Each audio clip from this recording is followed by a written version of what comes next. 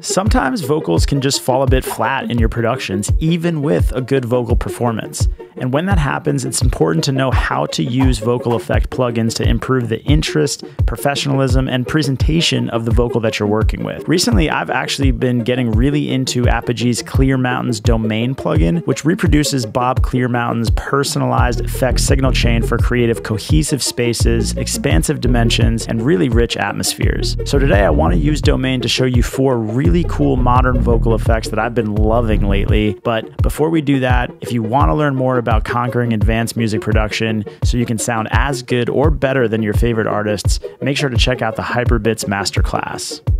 All right, first up, I want to show you some slap delay. A slapback vocal delay is just a vocal delay with little to no feedback, and it really just adds small amounts of depth to your vocal and gives it this, well, slap effect to your vocals. This is great if you only have one lead vocal recording, but you still want some stereo width. To get this effect using Domain, simply sync the delay to the tempo of your DAW and introduce subtle millisecond delays to both the left and the right channels. Listen to how this adds width to the lead vocal in a very, very clean way. Don't show up. Don't show up. Don't show up. Don't show up. And let's hear that in a full mix. Don't show up. Don't show up. Don't show up. Don't show up. You can also adjust the millisecond amounts or offset them to get some nice stereo movement. Next, let's talk about pitch delay. Pitching the delay sound is an amazing way to add additional interest to a vocal, where you can pitch just the delay up or down by an octave to get really fun and cool results. Take a listen to how easy it is to change the pitch of the delayed signal in Domain and then adjust the time intervals of your delay. Pound me. Pound me now. Pound me now. Pound me now. Pound me now. Pound me now. If you want to adjust how long the delay rings out for, simply link the spin and increase the feedback for both the left and right channels. Pound me now. Pound me now. And let's hear that again in a full mix. Pound me now. Pound me now. Pound me now.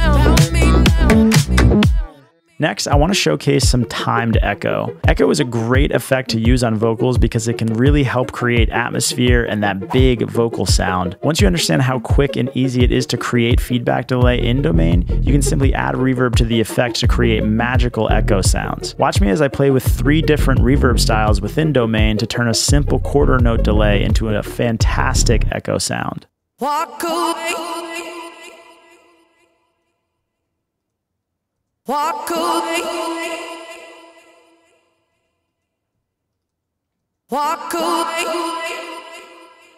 And fun tip, you can use the left and right EQs on the delay signal to carve out any mud or boominess from the echo itself. Let's hear that one more time in the full mix.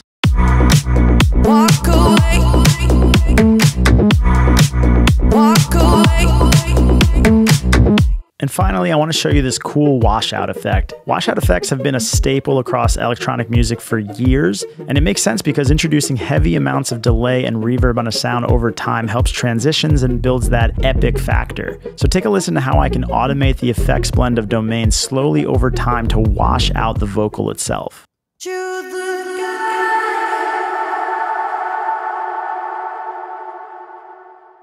And in the mix,